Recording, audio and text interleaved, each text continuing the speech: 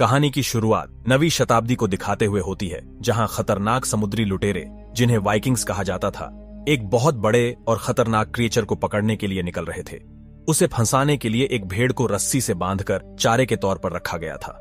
तभी वाइकिंग्स के राजा की बेटी ओसा उन्हें ऐसा करने से मना करती है और कहती है कि उनके लालच के कारण वो लोग मुसीबत में पड़ सकते हैं। पर राजा उसकी बात नहीं मानता और तभी जंगल के बीच झील में से कोई खतरनाक जानवर निकलकर उन सब पर अटैक कर देता है। यहाँ सीन शिफ्ट होकर प्रेजेंट में आ जाता है, जहाँ हम वन आर्कियोलॉजिस्ट सिगार को देखते हैं, जो कि ऐसे ही पुराने समुद्री लुटेरों पर रिसर्च कर रहा था। वो अपने काम में इतना बिज़ी रहता था कि उसे अपने बच्चों रानेल और ब्रागा के साथ वक्त बिताने को भी टाइम नहीं मिलता था। आज उसे एक इम्पोर्टेंट मीटिंग में जाना था, जहाँ उसे अपने प्रोजेक्ट के लिए पैसे इकट्ठे करने थे।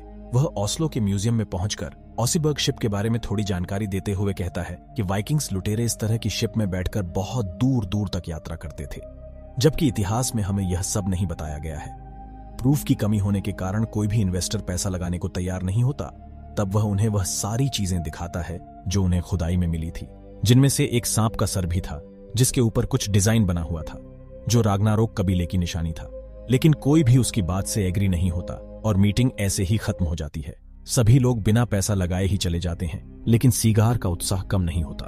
उसे अपने काम पर पूरा भरोसा था, क्योंकि ये सिर्फ़ उसका नहीं बल्कि उसकी स्वर्गीय पत्नी का भी सपना था कि इस प्रोजेक्ट को पूरा किया जाए। वो अपनी पत्नी की नोटबुक खोल कर देखता है, जिसमें अलग अलग जमाने के इतिहास की जानकारी थी और कई सारी ड्राइंग बनी हुई थी। सीगार उस बुक को हर जगह अपने साथ रखता था। उस शाम उसका एक साथी एलन उसके घर आता है और उसे पत्थर का एक बड़ा सा टुकड़ा दिखाता है, जो उसे नॉर्वे के फिनमार्क में मिला था। उस पत्थर को गौर से देखने पर उन्हें उसके बीचों बीच ठीक वैसा ही निशान मिलता है, जो खुदाई की चीज़ों में मिला था। वह दोनों फिर से म्यूज़ियम में जाकर उस आर्टिफैक्ट को लेकर आते हैं। और उसे पत्थर को सिंबल के ऊपर रखते हैं, वह बराबर फिट हो जाता है। इसके बाद, सीगार सिंबल के ऊपर बने हुए संकेतों को पढ़कर बताता है कि वाइकिंग्स थ्री दिन तक ऑजरबर्ग शिप में बैठकर गहरे पानी की झील में यात्रा करते रहे, जिसे आई ऑर्डिन कहा जाता था।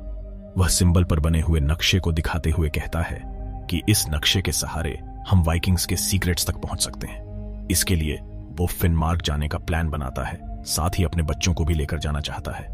इसके बाद वह सब फिनमार्क पहुँच जाते हैं, जहाँ एलन की असिस्टेंट एलिजाबेथ उन्हें रिसीव करते हैं। वह लोग उस रहस्यमयी झील को पार करके उस जंगल में पहुँचते हैं, जहाँ किसी जमाने में वाइकिंग रहा करते थे। थोड़ी दूर चलने पर उन्हें नॉर्वे और रशिया को अलग करने वाला बॉर्डर दिखाई देता है, जहाँ एक बोर्ड पर नो एंट्री का साइन बना हुआ था, पर वह लोग फेंस को काटकर अंदर घुस जाते हैं और उन्हें सामने एक बड़ी सी झील दिखाई देती है, जिसने एक छोटे से आइलैंड को चारों तरफ़ से घेरा हुआ था। इसी आइलैंड को आई ऑन ऑर्डिन कहा जाता था। लकड़ी के पटरों और दरवाजों को इकट्ठा करके, नाव की तरह यूज़ करके वो लोग आइलैंड पहुँच जाते हैं। फिर अपना मेटल डिटेक्टर निकालकर चेक करते हैं कि आसपास कोई मेटल की पुरानी चीज़ें मौजूद हैं या नहीं। उन्हें कुछ पुराने मेटल के खोल और हथियार मिलते हैं। अब जहाँ बड़े लोग अपने काम में बिज़ी होते हैं, वही बच्चे उस जगह को घूमने के लिए निकल जाते हैं। रानेल को रशिया का सैनिक छावनी दिखाई देता है तो ब्रागा को एक गुफा मिल जाती है। वह दोनों अपने डैड को इस बारे में बताते हैं। और उसके डैड को लगता है कि यह गुफा उनके अंदाजे से भी ज़्यादा गहरा है। अब सभी लोग रस्सी के सहारे उस गुफा के अंदर उतरते हैं और एलन उतरते वक्त बाइकिंग के एक हेलमेट से टकरा जाता है। सिगार और एलन इस बात से खुश थे कि आखिर उन्हें इस बात का सबूत मिल गया कि वाइकिंग्स नॉर्वे तक पहुँच चुके थे।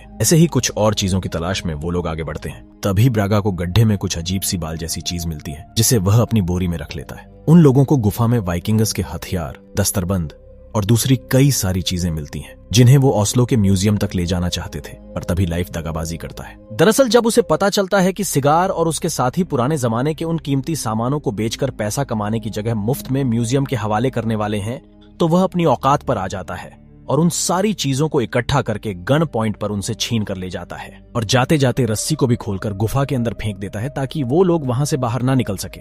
पर अभी वह थोड़ी दूर ही पहुँचा था कि अचानक पानी के अंदर से कोई चीज़ उसे खींच लेती है। इधर गुफा के अंदर उन सबको एक खोपड़ी मिलती है जो शायद किसी वाइकिंग की थी। उसे देखकर रानिल डर जाती और अपने पापा से कहती है कि मुझे घर पहुँचा दो। एलिजाबेथ हिम्मत करके गुफा की पथरीली दीवार पर चढ़कर बाहर की तरफ़ निकलने की कोशिश करती है। ताकि एक बार फिर से रस्सी को बाँध दे, जिससे सारे लोग गुफा से बाहर निकल सके। अब वह सब बाहर आ चुके थे, लेकिन लाइफ अपने साथ में टेंट भी लेकर चला गया था। इसलिए वो रात उन्हें आइलैंड पर ही बितानी पड़ती है। एलिजाबेथ, रानेल और ब्रागा बंकर के अंदर आराम करते हैं, जबकि सिगार और एलिन गुफा के अंदर जाकर और चीज़ों की तलाश करते हैं। उन्हें गुफा में मिली खोपड़ी में सांप का एक दांत दिखाई देता है, जिसका मतलब था, सांप के निगलने से उस आदमी की मौत हुई होगी।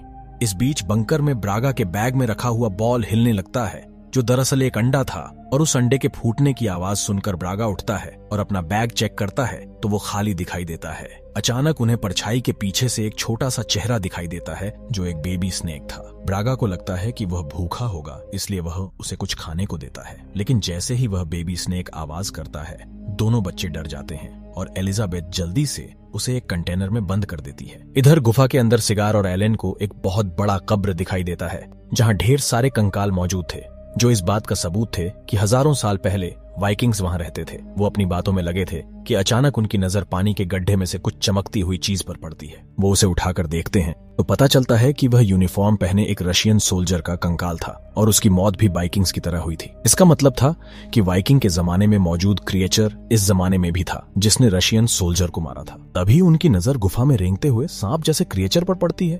और वह समझ जाते हैं कि वहाँ रहना खतरे से खाली नहीं।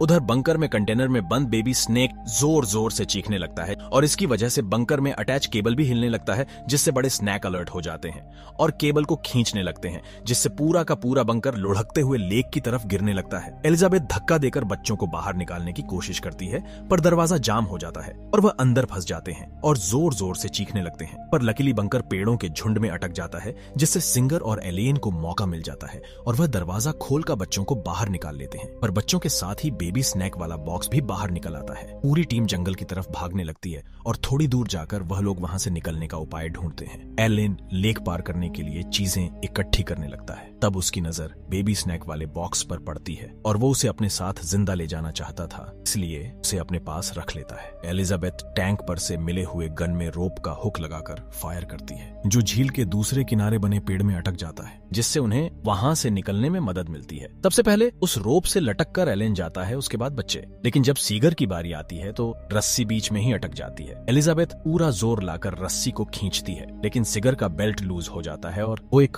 हुक के सहारे लटकने लगता है। तब एलिजाबेथ किसी तरह सीगर तक पहुंचकर उसे लेख में गिरने से बचा लेती है। लेकिन अभी भी वो लोग खतरे से बाहर नहीं थे, क्योंकि एक बहुत बड़ा स्नैक पानी के अंदर से निकलकर उन पर अटैक कर देता है, जिससे एलिजाबेथ और सिगार पानी में गिर जाते हैं। लेकिन सही समय पर एलेन उस सांप जैसे क्रिएचर की आँख में फायर कर देता है, जिससे वह क्रिएचर वापस पानी में चला जाता है और एलिजाबेथ और सिगार क्योंकि किनारे पर ही थे तो जल्दी से पानी के बाहर आ जाते हैं। पर उन्हें रियलाइज़ होता है कि क्रिएचर अभी भी उनके पीछे लगा हुआ था। वह सब उससे बचने के लिए एक अंडरग्राउंड बंकर में छुप जाते हैं और डोर लॉक कर देते हैं। पर वह क्रिएचर वहाँ भी पहुँच जाता है और डोर को तोड़कर अंदर आने की कोशिश करता है। अब सभी लोग वहाँ से निकलने के लिए दूसरा रास्ता ढूंढते हैं, लेकिन किसी को कोई रास्ता नहीं दिखता। तो आखिर में थक कर सब एक जगह बैठ जाते हैं। रानेल अपनी माँ की किताब निकालकर सिंबल देखती और अपने डैड को उनकी मीनिंग बताने के लिए कहती है। अब सीगर उसे बताता है, यह सिंबल हमें उन वाइकिंग्स लुटेरों की कहानी बताता है जो ऐसे ही एक क्रिएचर को पकड़ने के लिए निकले थे।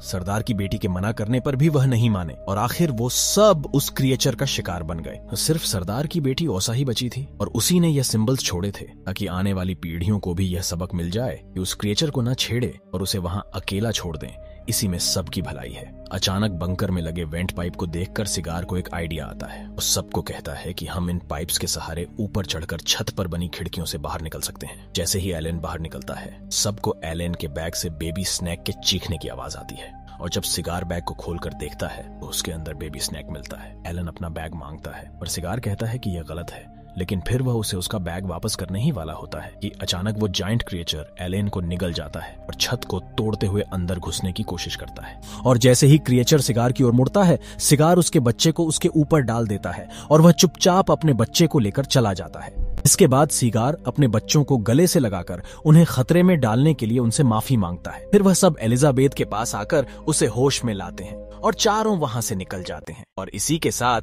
यह मूवी यहीं पर समाप्त हो जाती है। दोस्तों, हमारे हॉलीवुड क्लाइमैक्स चैनल को सब्सक्राइब करने के लिए दिल से सुकीरिया।